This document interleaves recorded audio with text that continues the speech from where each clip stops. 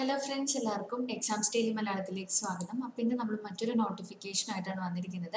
Kerala state and development corporation ലിമിറ്റഡിന്റെ ഒരു നോട്ടിഫിക്കേഷനാണ് ഒരു വൺ ഇയർ ടെന്യൂവറിന്റെ ഒരു കോൺട്രാക്ട് ബേസിസിലാണ് ഈ ഒരു നോട്ടിഫിക്കേഷൻ വന്നിരിക്കുന്നത്. അപ്പോൾ നമുക്ക് ഡെസിഗ്നേഷൻ അല്ലെങ്കിൽ പോസ്റ്റ് ഡീറ്റെയിൽസിലോട്ട് നമുക്ക് പോകാം. ആദ്യത്തെ ഡെസിഗ്നേഷൻ എന്ന് പറയുന്നത് ബിസിനസ് ഡെവലപ്മെന്റ് എക്സിക്യൂട്ടീവ് ആണ്. പതിനഞ്ച് വേക്കൻസീസ് ആണ് റിപ്പോർട്ട് ചെയ്യപ്പെട്ടിരിക്കുന്നത്.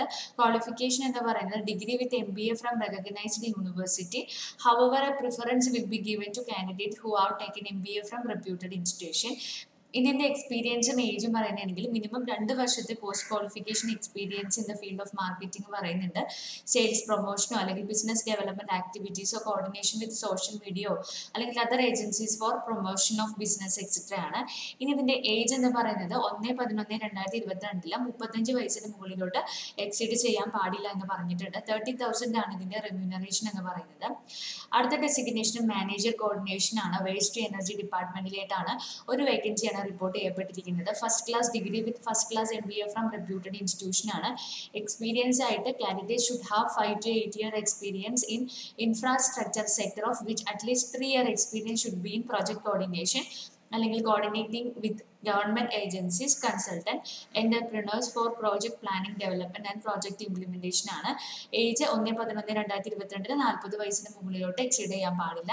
ഇതിന്റെ റെമ്യൂണറേഷൻ എന്ന് പറയുന്നത് ഫിഫ്റ്റി തൗസൻഡ് റുപ്പീസ് ആണ് വരുന്നത്.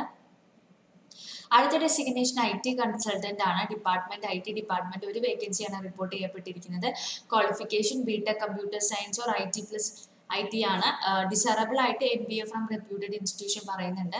എക്സ്പീരിയൻസ് ആയിട്ട് at least ten plus years post qualification experience in I T out of overall experience the candidate should have at least five year of I T experience in banking or N B F C sectoring top managerial role age ഒന്ന് പതിനൊന്ന് രണ്ടായിരത്തി ഇരുപത്തിരണ്ടിൽ അമ്പത് വയസ്സിന് മുകളിലോട്ട് exceed ചെയ്യാൻ പാടില്ല. Seventy five thousand ആണ് ഇതിന്റെ റെമ്യൂണറേഷൻ എന്ന് പറയുന്നത്.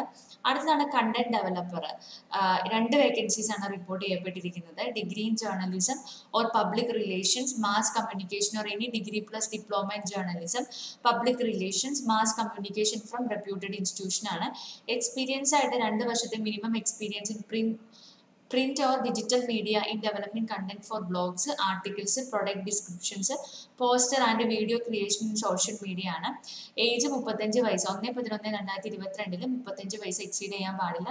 തേർട്ടി തൗസൻഡ് ആണ് ഇതിന്റെ റെമ്യൂണറേഷൻ എന്ന് പറയുന്നത്. അടുത്താണ് ഡിസൈനർ ഒരു വേക്കൻസീസ് ആണുള്ളത്.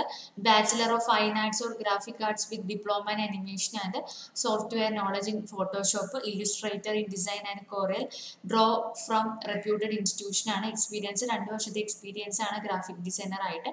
ഒന്ന് പതിനൊന്ന് രണ്ടായിരത്തി ഇരുപത്തിരണ്ടിൽ മുപ്പത്തഞ്ച് വയസ്സിന് മുകളിലോട്ട് എക്സീഡ് ചെയ്യാൻ പാടില്ല. തേർട്ടി തൗസൻഡ് ആണ് ഇതിന്റെ സാലറി റെമ്യൂണറേഷൻ എന്ന് പറയുന്നത്. ഇനി അടുത്തതായിട്ട് ഇതിന്റെ ഓൺലൈൻ ആയിട്ടുള്ള ആപ്ലിക്കേഷൻസ് നമ്മൾ ഈ ഒരു വെബ്സൈറ്റ് വഴിയാണ് നമ്മൾ അയക്കേണ്ടത്. W W dot K സിക് dot O R G അല്ലെങ്കിൽ W W dot C M D Kerala dot in net എന്ന് പറയുന്ന ഈ ഒരു വെബ്സൈറ്റ് വഴിയാണ് നമ്മൾ അപ്ലൈ ചെയ്യേണ്ടത്. ഓൺലൈൻ ആപ്ലിക്കേഷന്റെ സബ്മിറ്റ് ചെയ്യേണ്ട ലിങ്ക് ഓപ്പൺ ആകുന്നത് ഇന്ന് മുതലാണ്. ഒമ്പത് പതിനൊന്ന് രണ്ടായിരത്തി ഇരുപത്തിരണ്ട് പത്ത് മണി മുതലാണ്. ലാസ്റ്റ് ഡേറ്റ് എന്ന് പറയുന്നത് ഇരുപത്തി മൂന്ന് പതിനൊന്ന് രണ്ടായിരത്തി ഇരുപത്തിരണ്ട് അഞ്ച് മണി വരെയാണ് ഇതിന്റെ ലാസ്റ്റ് ഡേറ്റ് ടൈം വരുന്നത്. ഇനി കുറച്ച് ജനറൽ ഇൻസ്ട്രക്ഷൻസ് ഒക്കെ കൊടുത്തിട്ടുണ്ട്. ഈ ഇൻസ്ട്രക്ഷൻ ഫോർ സ്കാനിങ് ഫോട്ടോഗ്രാഫും സിഗ്നേച്ചറും കയറ്റാൻ വേണ്ടിയിട്ട് ലേറ്റസ്റ്റ് ആയിട്ടുള്ള ഫോട്ടോഗ്രാഫ് വേണം. ജെ പി ജി ഫോർമാറ്റിലായിരിക്കണം ടു ഹൺഡ്രഡ് കെ ബിയുടെ ഉള്ളിലാണ് വരേണ്ടത്. Scanned image shall be fifty K B J P G ഫോർമാറ്റിലായിരിക്കണം സിഗ്നേച്ചറിന്റെ ഫിഫ്റ്റി കെ ബിക്ക് ഉള്ളിൽ നിൽക്കണം. ജെ പി ജി ഫോർമാറ്റിലായിരിക്കണം എന്ന് പറയുന്നുണ്ട്. പിന്നെ signature and capitalised is not permitted ആണെന്ന് പറയുന്നുണ്ട്. അപ്പോൾ സ്കാനിങ് ഫോട്ടോഗ്രാഫിന്റെ സിഗ്നേച്ചറിന്റെ ഇൻസ്ട്രക്ഷൻസ് അവർ കൊടുത്തിട്ടുണ്ട്. അപ്പോൾ നിങ്ങൾക്ക് കൂടുതലായിട്ട് ഇതിന്റെ ഡീറ്റെയിൽസ് നോക്കാൻ വേണ്ടിയിട്ട് നമ്മുടെ ചാനലിന്റെ ഡിസ്ക്രിപ്ഷൻ ബോക്സിൽ ഇതിന്റെ ലിങ്ക് ഇട്ടിട്ടുണ്ടായിരിക്കും. അപ്പോൾ നിങ്ങൾക്ക് കൂടുതലായിട്ട് നോട്ടിഫിക്കേഷനെ പറ്റിയിട്ട് ചെക്ക് ചെയ്യാവുന്നതാണ്. ഇതുപോലുള്ള പുതിയ നോട്ടിഫിക്കേഷൻസ് നിങ്ങൾക്ക് ലഭിക്കാൻ വേണ്ടിയിട്ട് നമ്മുടെ ചാനൽ ഒന്ന് ലൈക്ക് ചെയ്യണം ഷെയർ ചെയ്യണം. Exam style Malayalam YouTube channel ആദ്യമായി കാണുന്നവരാണെങ്കിൽ സബ്സ്ക്രൈബ് ചെയ്യണം. താങ്ക്